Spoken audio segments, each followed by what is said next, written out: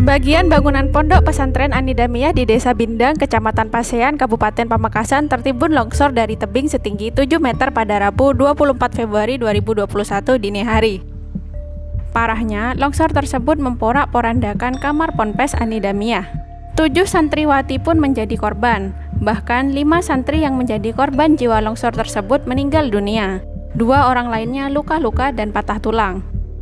Dari kelima santriwati yang meninggal dunia itu berasal dari Kabupaten Jember. Dua jenazah yang berhasil dievakuasi itu langsung diantarkan ke rumahnya pada Rabu 24 Februari 2021 kemarin. Setiba di rumahnya, hisak tangis mewarnai kedatangan kedua jenazah tersebut. Berikut ini cuplikan penuh keharuan kondisi duka di Jember. Syuhada pencari ilmu, insya Allah surga menantimu. Ini adalah korban bencana alam di pondok pesantren An-Nidhomiyah Bindang, Asian, Pamekasan, Madura. Ini dua korban atas nama Nur Azizah dan Santi merupakan warga masyarakat Dusun Botosari, Desa Dokumencek, Kecamatan Sukurambi, Kabupaten Jember.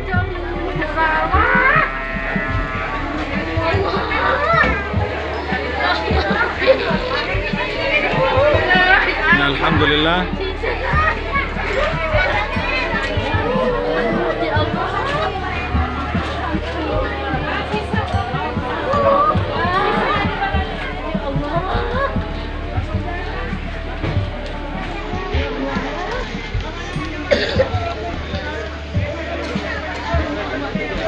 Ayo beri tempat.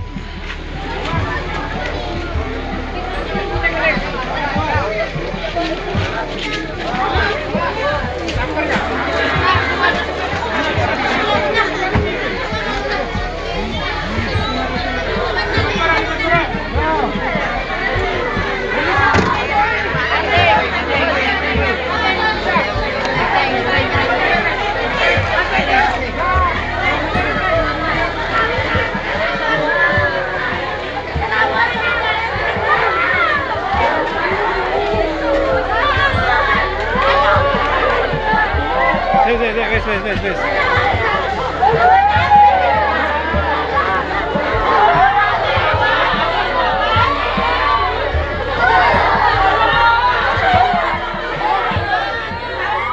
Islami Yuda Pratama, Sahid Mujtahidi, KM Afis Pamekasan melaporkan.